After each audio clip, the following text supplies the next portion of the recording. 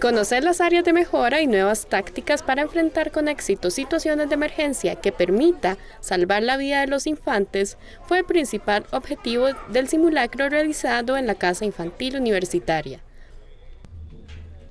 Esta actividad se originó en el marco de la octava semana de la seguridad ocupacional y ambiental y se enfocó en medir el nivel de respuesta de los cuerpos de socorro, así como el cumplimiento del plan de emergencias implementado por las funcionarias.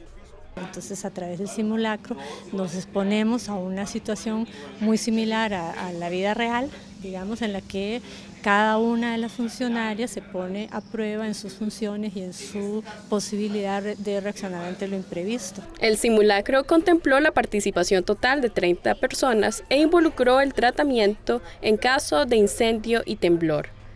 Dentro de las áreas de mejora, los funcionarios invitados de la UCR indicaron un mejor uso y mantenimiento de los instrumentos de emergencia, así como mejores instrumentos de comunicación. El tomar conciencia del equipo de la ciudad de una situación eh, de riesgo que se puede presentar ante un sismo y poder poner en práctica lo que se ha eh, mm, pensado en una situación de este tipo, ayuda eh, en ese momento cotidiano, ¿verdad?